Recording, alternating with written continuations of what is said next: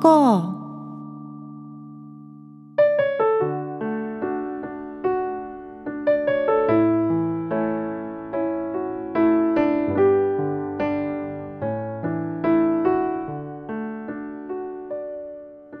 皆さんこんにちは。アンニョンセヨ。ふうかです。初めましての方も、ジョイジョイライフから来てくださった方もいらっしゃるかと思います。ありがとうございます。今回は初回トークということでですね、番組コンセプトを中心にお届けしたいと思います。えー私風花はですね大学時代の同級生のゆかさんと一緒にですね「ゆかと風花のジョイジョイライフ」というポッドキャスト番組を大体1年強ぐらいですねやってまして普段その番組では医療情報とかですね医師として働いていく上での愚痴なんかを中心にトーク番組をやっているんですけれどもこの度は私風花一人の番組を立ち上げました。今回は第1回目ということでね番組コンセプトの話をします。この番組のコンセプトはまさに一言で言うと私のオタ活です。ジョイジョイライフの方でも何度か話題にはしているんですけれども私は韓国のねバラード曲が大好きなんですよ。それで好きな歌手の話をしたり好きな歌をカバーして歌って発信したいなと。そして韓国のバラードが好きな人ともつながりたいしいい曲いっぱいやから広めていきたいなという思いがずっとあってこの番組を企画しました。日本で韓国ドラマが放送され始めたのって大体ね2000年代の初頭だったんですよね当時覚えてらっしゃる方もいらっしゃるかと思いますが「冬のソナタ」が大人気でしたよね。あのペヨンジュンさんって言ってねヨン様なんて呼ばれてましたがあのヨン様フィーバーの頃私はね中学生か高校生ぐらいだったんですよね。で私もまあ母親と一緒にあの頃韓国ドラマをたくさん見ていました。でドラマももちろん好きだったんですけど私は特にこのドラマの中でかかるバラード曲がね本当にめっちゃ感性に刺さってで当時まだ高校生で全然韓国語とかわからなかったんですけれどもメロディーがそもそも綺麗やし歌がね本当に上手だなっていう点に魅力を感じてそこからねずっと韓国バラードを聴き続けてそろそろもう20年になろうとしているというもはやね結構もうバラードマニアみたいな感じになってるんですよね。で今でこそ BTS のね世界的大ヒットがあって K-POP って結構身近な存在になってきてますけれども私がね韓国バラードにハマり始めたこの20年前っていうのはまたスマホもなければサブスクリプションもなかったんですよね。であの iPod っていうあの MP3 で音楽が聴けるなんというかなプレイヤーみたいなやつが出始めた頃。でそれも結構今のスマホぐらい大きかったんちゃうかな昔のはね。でそれがどんどんコンパクトになってってみたいな。その後スマホが出てきてみたいな流れでしたけどね。で、まあ、そういうものもなかった時代だったんで日本で買える韓国の CD ってすごい限られてたんですよね。だからそれこそ同年代で周りに韓国の歌を知ってる人ってね誰もいなくて。で韓国語わからないなりにこう見よう見まねっていうか聞いた通りの発音みたいなのを覚えてでカラオケで披露してもこれ誰の曲なんなんなんみたいな感じで全然もう場は盛り上がらないしみんな私が韓国の歌歌ってる時になんか電目かなんか本か見て次の曲選んでるみたいな状態になってたんですよ。まあ、それでも遠慮なくね、まあ、歌ってはいたんですけど、まあ、唯一ねあのジョイジョイライフを一緒にやってるゆかさんはね結構興味を持って聞いてくれましたねそんな唯一の人でしたゆかさんは。でまあそもそもでもね日本のカラオケに歌いたい歌入ってないことも結構あるんですよ、うん、韓国のバラードね。であとはやっぱり自分の好きなものを誰かと共有してこう楽しんで盛り上がりたいなみたいなこう願望はねずっとあったんですよね。ででもあのネットで検索してたりとかすると韓国のバラードの歌詞を日本語に翻訳してくれてるブログっていうのがね結構複数有名曲だったら複数ヒットするんですよ。でまあそのバラードの翻訳がねブログの読者の方からリクエストが来たのでやってみましたみたいに書いてある曲も結構あるので、まあ、自分の周りに直接その韓国バラード好きな人っていうのがいなくてもきっとね日本国内には一定数韓国バラードファンっているんやろうなっていうなんか確信はあったんですよ。だからきっとこう発信していけば仲間に出会えるんやろうな。楽しんでくれる人もいるんやろうなというような思いはありました。あと最近はねアイドルの方で韓国のアイドルの方もめちゃめちゃ歌唱力高いんですよ。でなんでこのアイドルの方が歌番組の中で昔の名曲バラードとか、まあ、他のアーティストの曲をカバーされててそしてその原曲が日本で話題になったりっていうこともあるのできっとね興味のある人の母数っていうのは増えていってるんじゃないかなというふうにはまあ思ってます。それでタイトルの話をするとこの「カンバラを聴こう」っていう番組名にしたんですけどねこのタイトルにある「カンバラ」っていう言葉は、まあ、私が作った造語なんですよ。で一言で韓国のバラード曲っていう風に分かるタイトルにしたかったのとあと韓国ドラマのことをさカンドラって言ったりするじゃないですか。だからまあその感じの略で伝わるかなって思ったんですけどで韓国のバラ肉っていう意味ではないサムギョプサルのことではないんですけどね。でこの番組からカンバラっていう言葉が広まっていってくれたら嬉しいなって思っています。いつの日か日本でもこれはカンバラの名曲だよねとか言われる世界線が来るといいななんかね。そんなことをね妄想しながら番組を作る準備をしておりました。まあしかしですねこの韓国のバラードっていうのは本当に歌うのが難しいんですよ。まず音域がめちゃくちゃ広いしでまあいろんな歌唱技術表現に使う歌唱技術っていろいろあるんですけど例えばこう吐息混じにこう「はーっていう声で歌ったりとか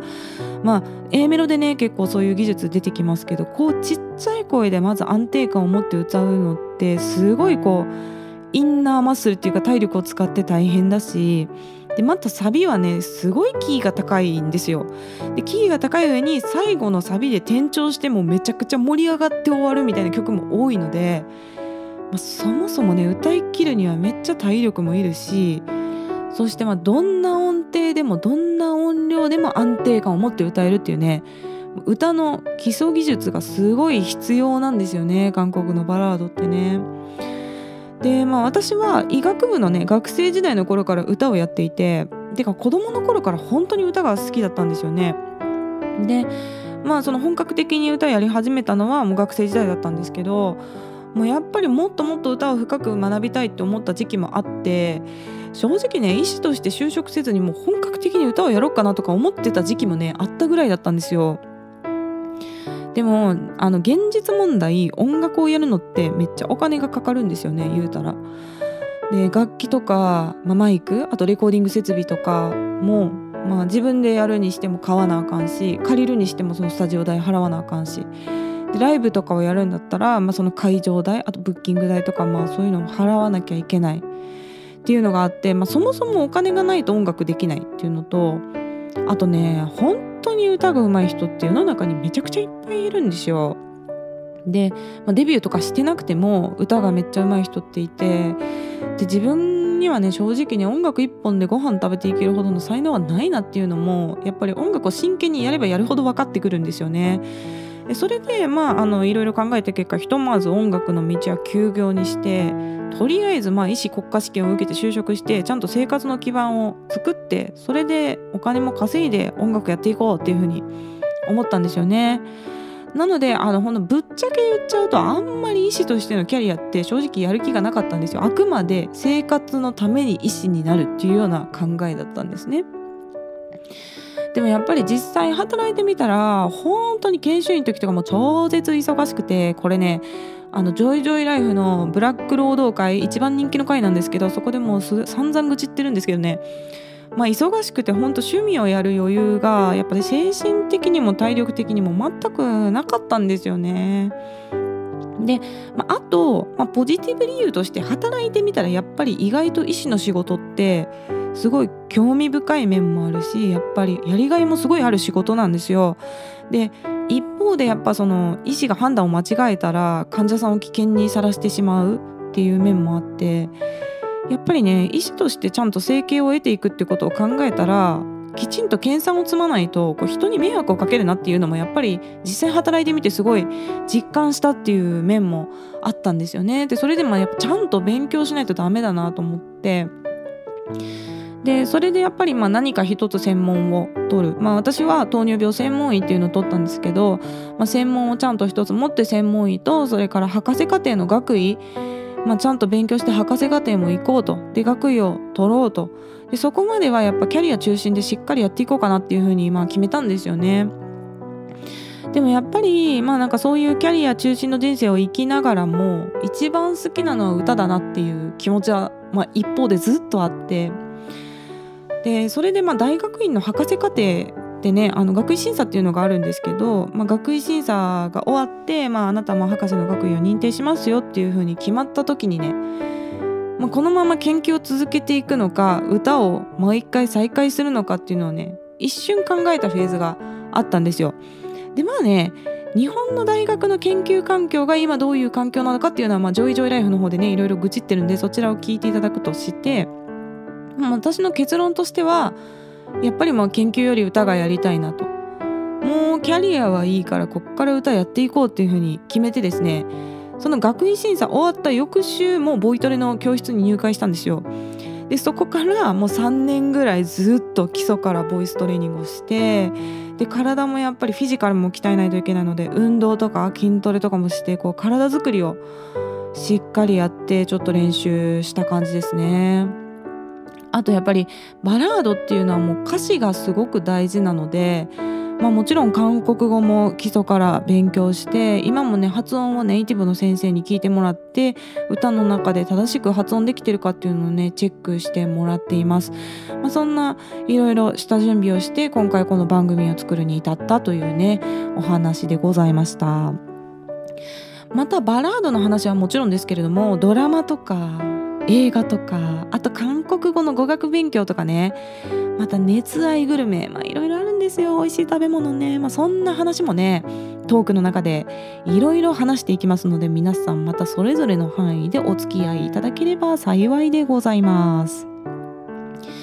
えー、番組のね更新についての話なんですけれどもまあこの番組は月曜日をトークそして木曜日をトーク歌みたいな感じで、まあ、週2回ぐらいお届けできたらいいなで曲はまあ毎週1曲ずつお届けしていけたらいいなというふうに思っています。で今回あの歌だけなんですけど歌はね YouTube にも歌ってみた動画的な感じでね上げていこうと思ってるんですよ。でまああの木曜日のトークプラス歌の時にトークの中で歌詞の内容をね説明しようとは思ってるんですけれども、まあ、実際のそのなんて言葉を言ってるのかとかその直接の大役を知りたいもっと深く聞いてみたいという方もいらっしゃると思うので、まあ、そういう場合はね是非 YouTube を見ていただけると、まあ、韓国語歌詞と日本語の大役をあの入れて、まあ、YouTube 作ろうと思ってるので是非見ていただけると嬉しいです。で、えー、概要欄に質問箱を設置いたしますのでぜひですねメッセージやリクエスト質問なども気軽に送っていただけると本当にありがたいです。でジョイジョイライフの方でもですねもう途中からだんだんなんかテーマがほとんどもう質問をいただいてその質問に答えていくっていう感じで番組が続いているっていうね感じになってますのでまあ、この番組でもぜひねリスナーの皆さんと交流できるのを本当に私も楽しみにしています。そんなわけで今回は番組コンセプトのお話でございました。ではまた次回の放送でお会いしましょう。さようなら。